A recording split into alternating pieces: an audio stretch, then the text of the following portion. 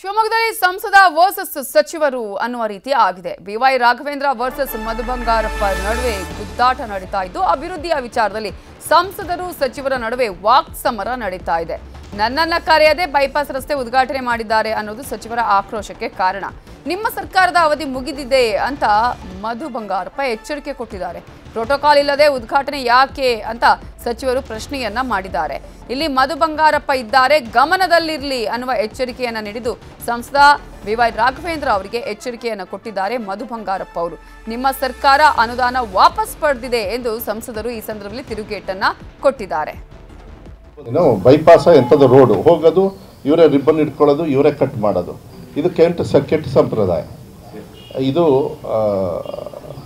ಮಾನ್ಯ M P ಅವರಿಗೆ ಅದು ಯಾಕೆ ಇಷ್ಟು ದುರ್, ದುರ್ಬುದ್ಧಿ ಬಂತ ಗೊತ್ತಿಲ್ಲ ನನಗೆ. ದುರ್ಬುದ್ಧಿ ಅಂತಲೇ ಹೇಳಬೇಕಾಗ್ತದೆ.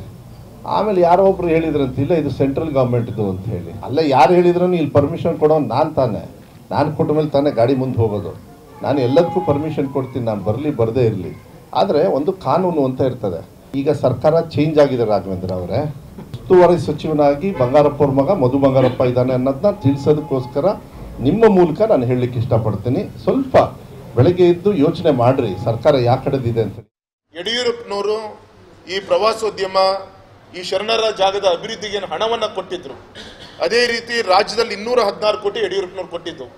ಇಷ್ಟು ಮೊತ್ತವನ್ನು ಕೂಡ ವಾಪಸ್ ತೆಗೆದುಕೊಂಡಂತ ಆದೇಶ ಇವತ್ತು ನಮ್ಮ ಪತ್ರಿಕಾ ಮಾಧ್ಯಮದ ಸ್ನೇಹಿತರ ಮುಂಭಾಗದಲ್ಲಿ ಅತ್ಯಂತ ಈ ನವೀನ ಒಂದು ಆದೇಶವನ್ನು ಈ ಸರ್ಕಾರ ಏನು ಮಾಡಿದೆ, ಅದು ನಿಮ್ಮ ಕಣ್ಮುಂದೆ ಇಡ್ತಾ ಇದ್ದೀನಿ. ಸನ್ಮಾನಿಸಿದ ಮಧು ಬಂಗಾರಪ್ಪ ನಿನ್ನೆ ನೋವಾಯ್ತು ಅಂತ ಹೇಳ್ತಾರಲ್ಲ ಸ್ವರ್ಭಾ ಕ್ಷೇತ್ರದ ಚಂದ್ರಗುತ್ತಿ ಅವರೇನು ಶಾಸಕರಾಗಿ ಆಯ್ಕೆ ಆಗಿದ್ದಾರೆ, ಅಲ್ಲಿಗೆ ನಿಮ್ಮ ಯಡಿಯೂರಪ್ಪನ ಒಂದು ಕೋಟಿ ಕೊಟ್ಟಿದ್ದು, ಅದು ಕೂಡ ಹಣವನ್ನ ವಾಪಸ್ ತೆಗೆದುಕೊಂಡಿದ್ದಾರೆ. ಒಂದು ಒಂದು ಕೋಟಿ ಮೂವತ್ತು ಲಕ್ಷ ರೂಪಾಯಿ ಹಣವನ್ನ ವಾಪಸ್ ತೆಗೆದುಕೊಂಡಿದ್ದಾರೆ. ಸಾಗರ ತಾಲೂಕಿನ ಕೆಳದಿಯಲ್ಲಿರುವಂತಹ ದೇವಸ್ಥಾನ ಅಭಿವೃದ್ಧಿಗೆ ಐವತ್ತು ಲಕ್ಷ ಅದನ್ನು ವಾಪಸ್ ತೆಗೆದುಕೊಂಡಿದ್ದಾರೆ. ಅದೇ ರೀತಿ ಶಿಕಾರಿಪುರ ತಾಲೂಕಿನಲ್ಲಿ ಬಂದಿಳಿಕೆ ಕದಂಬರ ಜಾಗದ ಅಭಿವೃದ್ಧಿ ಐವತ್ತು ಲಕ್ಷ ವಾಪಸ್ ತೆಗೆದುಕೊಂಡಿದ್ದಾರೆ. ಶಿಕಾರಿಪುರ ತಾಲೂಕು ಶಿರಳಕೊಪ್ಪ ಅಲ್ಲಮ್ಮ ಪ್ರಭುಗಳ ಜನ್ಮಸ್ಥಳ ಒಂದು ಕೋಟಿ ಹಣವನ್ನ ವಾಪಸ್ ತೆಗೆದುಕೊಂಡಿದ್ದಾರೆ. ನಮ್ಮ ಸಕ್ಕರೆ ಬೈಲು ಹದಿನೇಳು ಕೋಟಿ ಅದನ್ನು ವಾಪಸ್ ತೆಗೆದುಕೊಂಡಿದ್ದಾರೆ.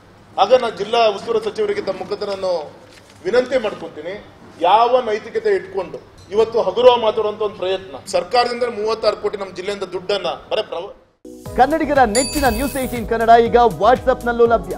ಕರ್ನಾಟಕ, ದೇಶ, ವಿದೇಶಗಳ ತ್ರೀ ಸಿಕ್ಸ್ಟಿ ಡಿಗ್ರಿ ಸುದ್ದಿಯ ವಿವರಗಳನ್ನ ನಿಮ್ಮ ಕೈ ಬೆಳುಗಳಲ್ಲೇ ಪಡಿಲಿಕ್ಕೆ ಈ ಕ್ಯೂ ಆರ್ ಕೋಡ್ ಅನ್ನ ಸ್ಕ್ಯಾನ್ ಮಾಡಿ. ನಮ್ಮ ಚಾನಲ್ ಫಾಲೋ ಮಾಡಿ ನೋಟಿಫಿಕೇಶನ್ ಆನ್ ಮಾಡಿ.